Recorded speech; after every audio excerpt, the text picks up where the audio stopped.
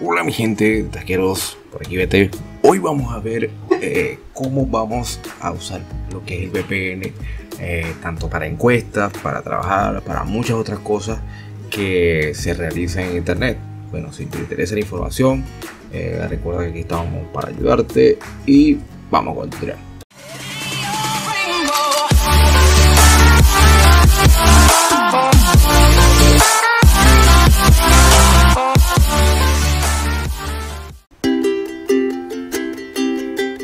espero que, estés interesado en este tutorial y si te interesa también este contenido y otros más, eh, suscríbete y trata de recomendarnos, ¿verdad? Para que la comunidad siga creciendo. Eh, vamos con el tutorial, señores.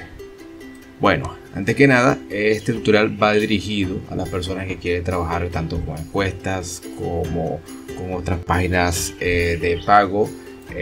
vamos a ver más o menos de qué se trata.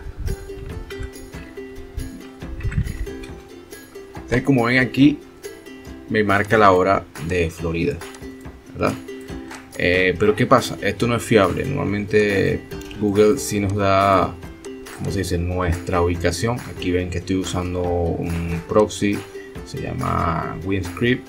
Obviamente ustedes pueden usar el de su preferencia, pero si ustedes van a trabajar con lo que respecta, con lo que a mí respecta, pues de recomendación que les puedo dar, eh, en base a encuestas y todo eso, vamos a, al éxito TIC. Lo primero que tienen que hacer es cambiar los DNS. ¿sí? Que no lo crean, con eso van a, se dice, van a, van a tener una protección extra. Aquí vemos que esta página Hover se usa para medir el nivel de seguridad que tiene tu, tu conexión. En este caso vemos que el, el que tengo es 77.5%. Ahora, si yo quisiera cambiar, ahorita estoy en Windows 7, si quisiera cambiar, por ejemplo, mi DNS, le doy aquí, bueno, para que sigan los pasos y voy en propiedades, ¿verdad? Me meto aquí el protocolo TCP/IP, pero la versión 4, la versión 6 obviamente que no, porque eso no lo usamos.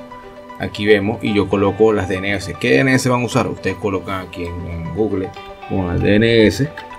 Yo pongo siempre DNS rápida, por ejemplo aquí vemos que era nivel 3 obviamente que yo puedo agarrar esa vamos aquí a ver si la copio y la puedo usar con completa seguridad ya va vamos a ir aquí primero para que me sea más fácil a mí. Por ejemplo agarro aquí abajo y copio 209 copio 244 copio 0 esto no altera en nada su computadora, de hecho, hasta en algunas conexiones pueden hacer que ande más rápido. Ustedes pueden medir si da la gana. 0 y 4. Ok. Lo agarro aquí, voy a aceptar y listo. Ya tendría estas, estas DNS que está aquí arriba. Cuando doy aquí a autorizar, en teoría me debería aparecer las DNS.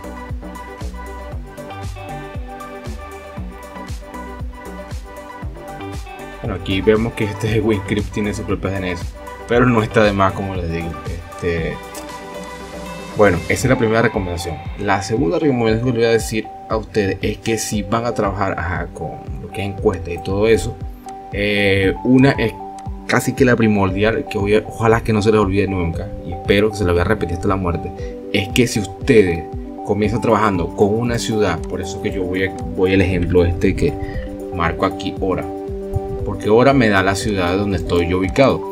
Por ejemplo, aquí dice que el, el, VPN dice que estoy en Florida. Ajá, si yo entro en una encuestadora, primero veo que las horas son las 9.45, yo debería aquí primero cambiar mi hora a las 9.45. Si aquí dice que no joda, que es 30 de febrero, ustedes van a colocar 30 de febrero, ¿ok? para comenzar por ahí. Sé que no existe, pero igual. 9 y 46. Esto es lo primero. Esto va a aumentar su anonimato. Vamos a ir aquí. Este, esto, como les dije, va a una barra que va midiendo cuán anónimo es, es su conexión. Llevamos aquí que tenemos una parte. Ahora, eh, la mayoría de las encuestadoras te descubren por eso, porque ven que te conectas con el VPN de tal lado y después aparece en otro lado. Entonces ya ahí estás viendo fuera pero ahora vemos que aquí vemos que la ciudad es esta está aquí. Eh, ya va, vamos a ver. Esta ciudad. Ya sabemos que esta es la ciudad que vamos a tener siempre por defecto.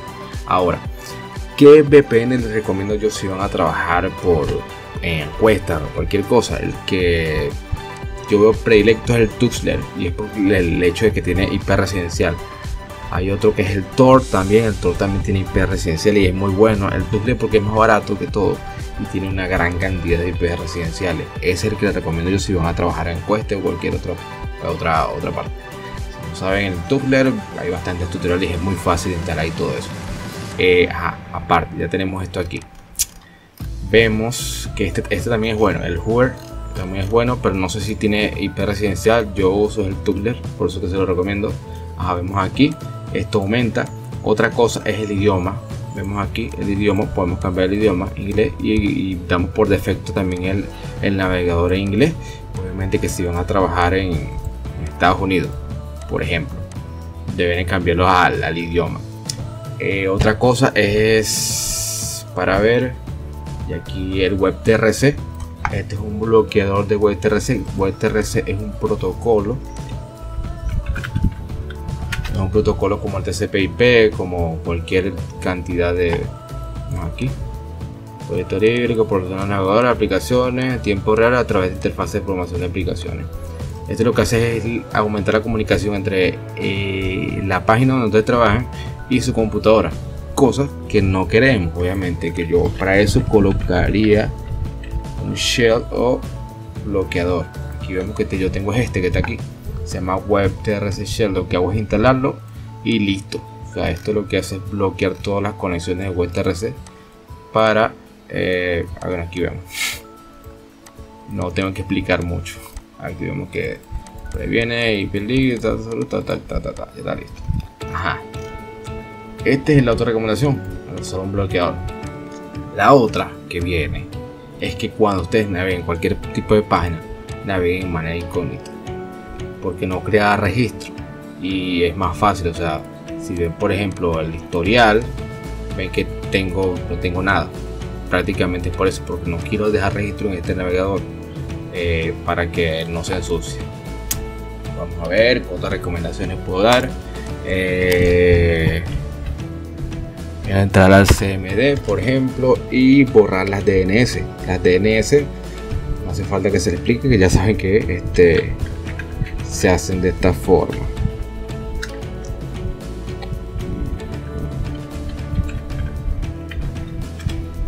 Aquí vemos que se vació la caché de los DNS. Esto es lo que hace prácticamente reiniciar mi, mi PC de completo y ya no tengo ninguna DNS eh, almacenada. Otra broma es que ustedes si se van a conectar, siempre que se vayan a conectar, bueno, yo lo hago eh, creando un usuario de estos de, de, Windows. Creo uno aparte, e instalo el y todo eso y tengo un usuario como se diría este, más acorde al hecho de lo que yo usaba. usarlo solamente para trabajar, creo usuario solamente para trabajar. Por ejemplo, este es un usuario normal, que uso casi que habitualmente en la computadora. Pero aquí vemos que estas son pocas pero buenas recomendaciones.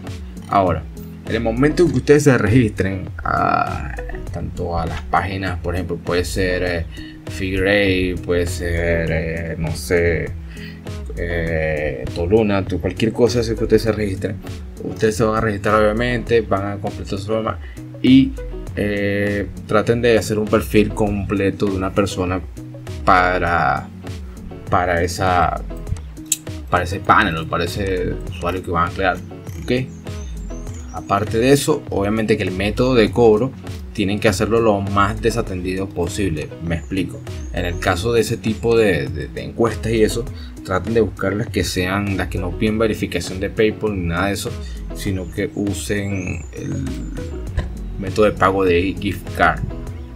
Porque si ustedes no usan el método de pago de gift card, normalmente lo van a descubrir y no le van a pagar nada. Obviamente que el método de cobrar tampoco es fácil. Lo van a agarrar y van a meterse en la página y le van a dar clic cobrar. No. Tienen que descargar un emulador de, de, de Android. Descargas un emulador de Android y por ese medio del emulador de Android es que te registra y haces todo. Tampoco vas a ser estúpido de hacerlo por, la, por aquí por la computadora. Bueno, no sé, hay gente que lo hace. Pero igual, eh, cuando vayas a cobrar, vas a ir al demoledor, vas a hacer como que estuvieras desde tu teléfono y vas a cobrar desde ahí, no vas a cobrar desde la computadora. Y ya tendrás, por ejemplo, aquí ya te la eso es todo. Bueno, estos fueron pequeñas recomendaciones, pero creo que aclara un poco con respecto al uso del VPN. Estas recomendaciones también se pueden seguir eh, para el uso de de Figure por ejemplo. Voy aquí puedo loguear vean aquí me lo veo completamente. A,